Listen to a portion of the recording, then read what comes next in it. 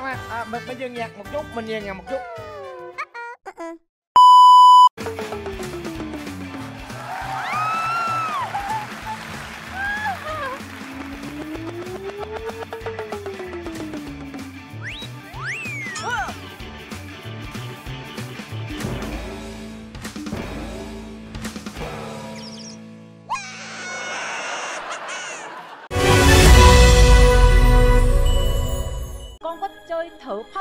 Thử cho các cô chú coi được không Ồ. Dạ được ạ, con có học ạ. Thử một vài động tác cho cô chú xem coi nhé. âm nhạc nha Xin mời music.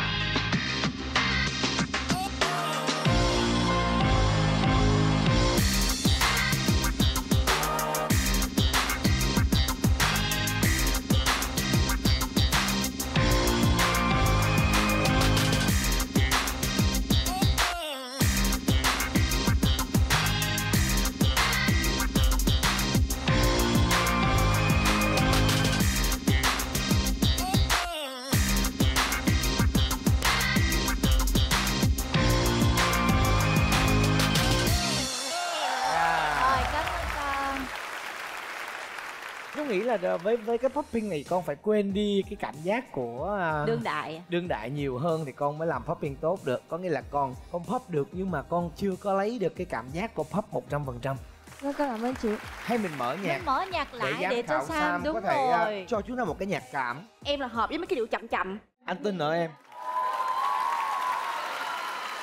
Thường là nghệ sĩ người ta sẽ quay vô. Chăm là chỉ ngón tay bà ơi. Ngón tay trỏ Ngón tay trỏ.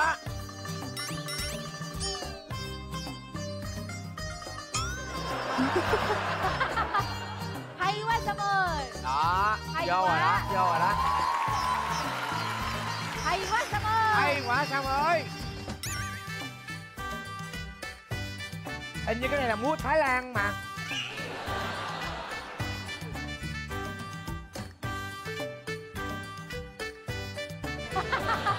khoan khoan. À, mình mình dừng nhạc một chút mình dừng nhạc một chút. Em có động tác nào khác ngoài cái này không nãy giờ? Bây giờ tới giám khảo Harry Gonfield nè. Anh anh đừng có hại em như vậy chứ. Anh biết em làm được. Em xin mời Harry Won ạ.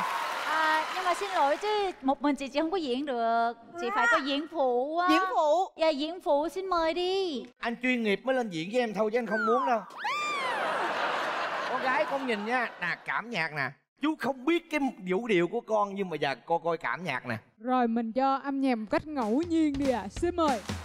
à